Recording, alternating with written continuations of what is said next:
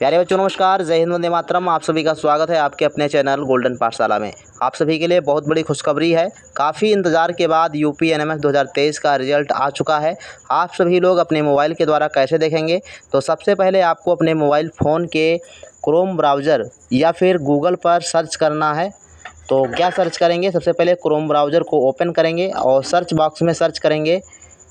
E N T D A T A इसको जब आप लिखेंगे तो सबसे पहले आपको यहाँ पे लिखा मिल जाएगा इंट डाटा डॉट इन इस पर जब आप क्लिक करेंगे तो आपको सबसे पहली वेबसाइट मिल जाएगी राष्ट्रीय आयम योग्यता। यहाँ जब लिखा आपको मिल जाए, वहीं पर आपको क्लिक करना है और क्लिक करेंगे जैसे ही तो आपको ऊपर लिखा मिल जाएगा परीक्षा नियामक प्राधिकारी उत्तर प्रदेश एनलगंज प्रयागराज। यहाँ पर आपको रिज़ल्ट पर क्लिक करना है और जैसे आपको रिज़ल्ट पर आप क्लिक करेंगे तो आपको डिस्ट्रिक्ट वाइज नाम देखने को मिल जाएँगे। तो आप जिस डिस्ट्रिक्ट से बिलोंग करते हैं, जिस ज़िले से आप बिलोंग करते हैं, उस ज़िला का नाम पढ़ करके उस पर आप जब क्लिक करेंगे तो आपको एक पीडीएफ खुल के आ जाएगी और उस पीडीएफ में अगर आपका नाम है तो आपका सिलेक्शन हो गया है।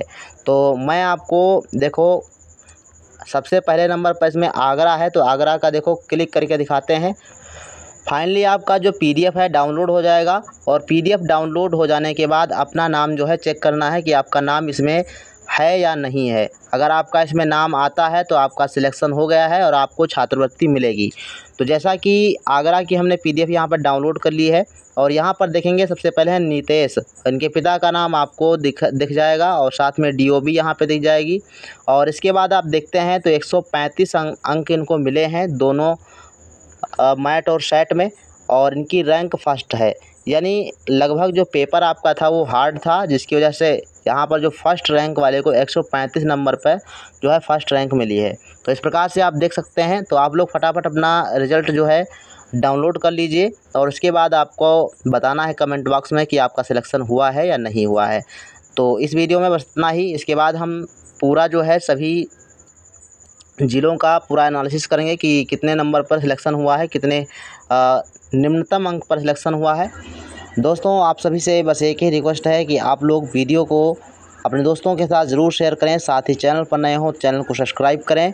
और यदि आपके पास पड़ोस में कोई भी छात्र या छात्रा एन एम एस एग्ज़ाम 2024 की तैयारी करना चाहता है, या कक्षा आठ में अभी इस वर्ष आया है तो उसको आप U P N M S exam के बारे में बता सकते हैं और हमारे चैनल के माध्यम से उनको तैयारी करने के लिए बता सकते हैं।